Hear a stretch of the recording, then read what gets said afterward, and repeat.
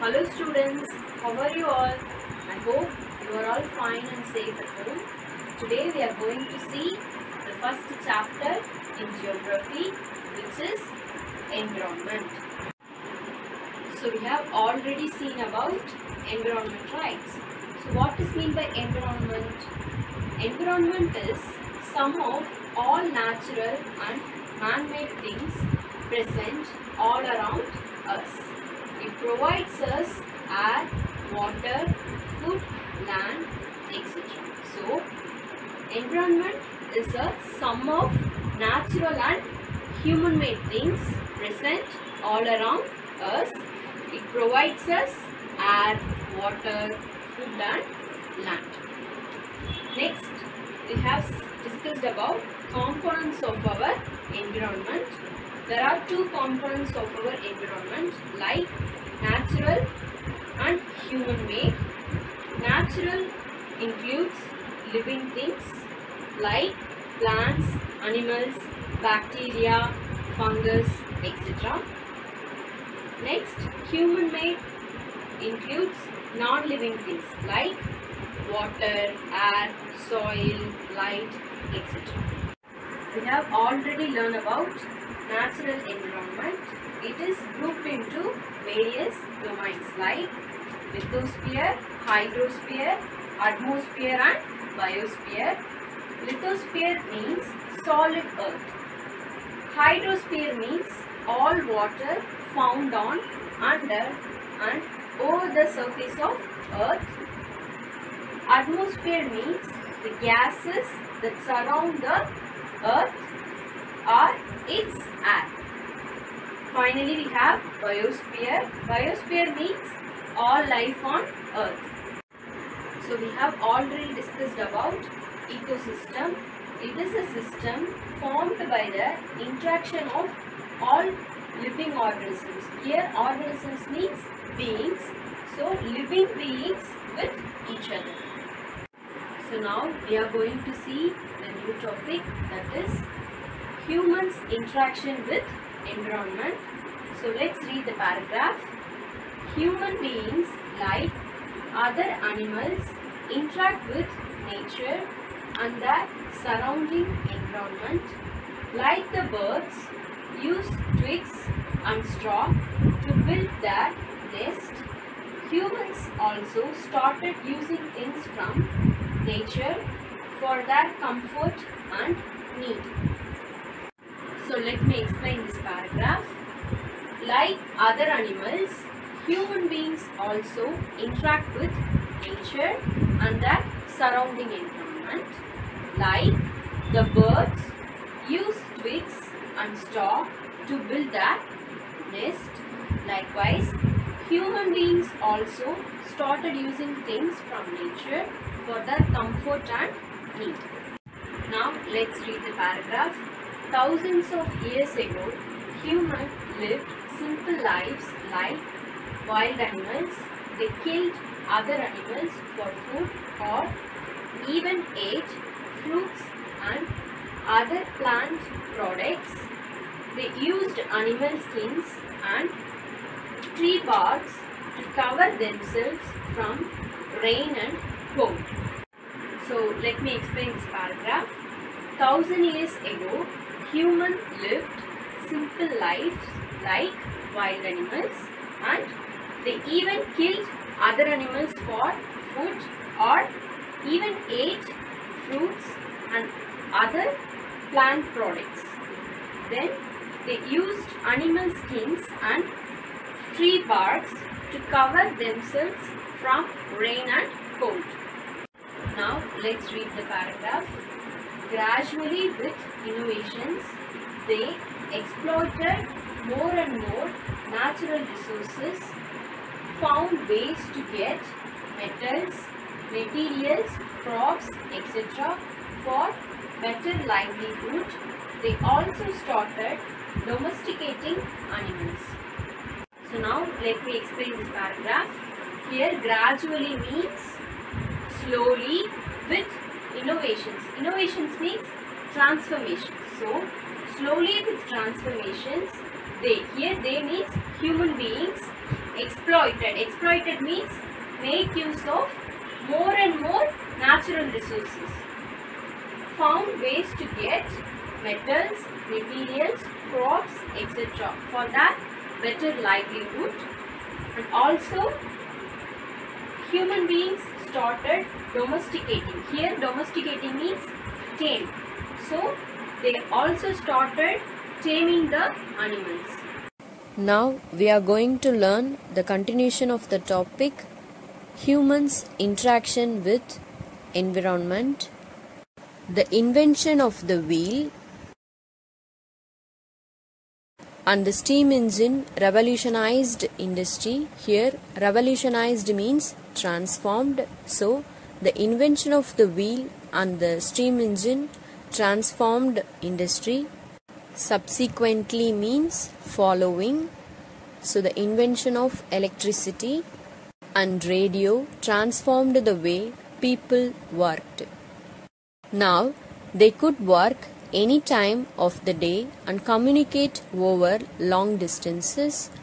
With the passing of time and more inventions human developed complex systems to help store food transport food and material, trade, communicate across the world at a much faster pace. That is why the world is sometimes also called a global village. So, what is mean by global village? The world considered as a single community linked by telecommunications. So, what is mean by telecommunication?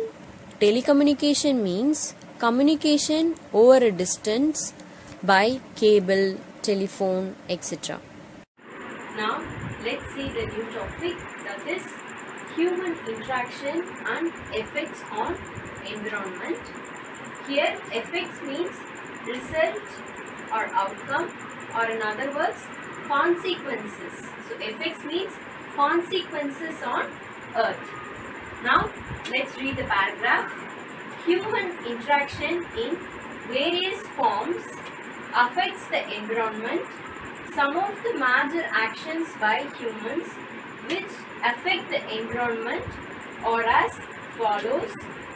The first one is pollution, the second one is deforestation and the third one is global warming.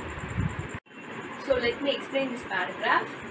Human interactions in various forms affects the environment and some of the major actions by humans which affect the environment are as follows like pollution, deforestation and global warming. Now we are going to learn about pollution. First, we have to know what is mean by pollution. When harmful substances contaminate the environment, it is called pollution. So here contaminate means poisonous or not pure. So when harmful substances contaminate the environment, it is called pollution. In other words, pollution is something introduced into the environment that is dirty, unclean or as a harmful effect. Pollution refers to the very bad condition of environment in terms of quantity and quality. Next, we are going to learn about industrialization. First, we have to know the term industrialization. Industrialization means the development of industries in a country or region on a wide scale. Here, region means area. So, industrialization causes smoke and other chemical pollutants to be released into the air and water around them. Next, let's see about air pollution. Burning of dry leaves, plastics, and firecrackers causes a lot of air pollution. Next, we are going to learn about water pollution. the drainage of wastes from towns and cities as well as excessive use of chemical fertilizers and pesticide in agriculture causes water pollution. Here, excessive means too much, so the drainage of wastes from towns and cities as well as too much use of chemical fertilizers and pesticide in agriculture causes water pollution. These human activities cause contamination of both air and water which affects people. Here contamination means poisonous or not pure. Pollution of the atmosphere is a matter of serious concern. Living beings breathe this air which has chemical and dust particles that affect their life. Similarly, the polluted water affects the vegetables and fruits grown with such water. It also causes shortage of clean drinking water. Resultantly, a large amount of diseases are being caused due to these pollutants entering the human bodies. Here, resultantly means as a result. So, as a result, a large number of diseases are being caused due to these pollutants entering the human bodies. Next, we are going to learn about deforestation. First, we have to know the term deforestation. Deforestation is otherwise called as clearance, clear cutting, or clearing the forest or trees. In other words, deforestation is the removal of a forest or stand of trees from land which is then converted to a non forest use. This can include clearing the land for agriculture or grazing or using the timber for fuel, construction or manufacturing. Large scale deforestation is happening around the world. There is an increasing demand for paper and wood products. Here we can see the pictures of papers and wood products. Large forested areas are being cleared to bring land under agriculture or industrial activities. This is being done to meet the demand of food and goods for the growing population. Deforestation affects the ecosystem and regeneration of oxygen on the planet. So here regeneration means process of renewal. So deforestation affects the ecosystem and process of renewal of oxygen on the planet. It affects wildlife, affects the life of tribals and people living in and around forest who depend on the forest produce for their life needs. Next, we are going to learn about global warming. First, we have to know what is mean by global warming. Global warming is the long-term heating of Earth's climate system due to human activities, primarily fossil fuel burning, which increases heat trapping greenhouse gas levels in Earth's atmosphere. So, here greenhouse gas means gases that trap heat in the atmosphere are called greenhouse gases. Since the beginning of the Industrial Revolution, human activity has rapidly, rapidly means quickly changed the balance of gases in the atmosphere. Burning of fossil fuels like coal and petroleum releases water vapor, carbon dioxide, methane, ozone and nitrous oxide into the atmosphere. So here we can see the pictures of fossil fuels, coal and petroleum. Carbon dioxide is the most common greenhouse gas. At the beginning of the Industrial Revolution, its presence in the atmosphere amounted to about 280 parts per million. Now it has reached over 400 parts per million. This means there are 400 molecules of carbon dioxide in the air per every million air molecule. Here, molecule means it is defined as two or more atoms of the same element or different element that are bound together. These figures get much higher when pollutants and dust mix with these gases. Carbon dioxide observes infrared radiation which means heat here. Infrared means light which has caused the average global temperature to increase. The main cause of global warming is the combustion of fossil fuels here. Combustion means burning of fossil fuels.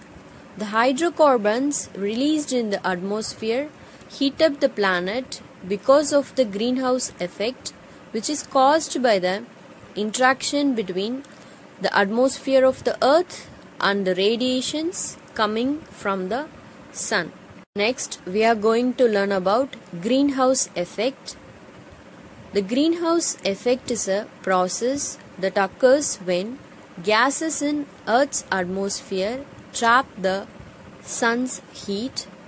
This process makes Earth much warmer than it would be without an atmosphere.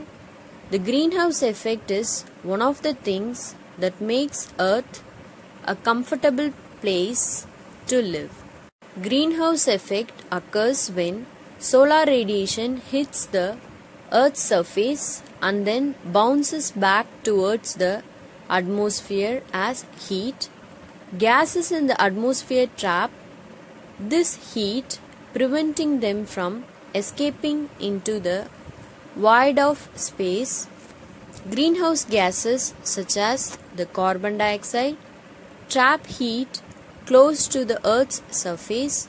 Therefore, changes in the amount of gases such as carbon dioxide makes a big difference in the amount of heat that is trapped in the atmosphere. The heating of the atmosphere affects the melting of glaciers. What is mean by glacier? It is a huge, huge means extremely large mass of ice that moves slowly over land and frozen zones on the earth like the Arctic and the Antarctic regions. The higher melting of ice can submerge many islands and shorelines. It also brings about imbalance in rain and wind patterns, storms and cyclones, and ecology as a whole. So, what is mean by ecology? Ecology means the branch of biology that deals with the relations of organisms to one another and to their physical surroundings. 5th of June every year is celebrated as World Environment Day. So, it is important to realize that in the ecosystem, all elements of nature have some dependency and interaction. Therefore, if humans overexploit, exploit means utilize or make use of the natural resources it would affect other organisms and in the long term also affect humans. For example, if forests are cut down to make buildings, the environment will lose the major producer of oxygen. Slowly, this would affect humans as well. As members of the human environment, we should take adequate. Adequate means sufficient care of nature and natural resources and not over consume and exploit. Exploit means utilize or make use of them. A balance is necessary for better life on the earth. I have enclosed the classwork instructions in the PDF. Kindly refer it. So now we have reached the end of this session. Thank you.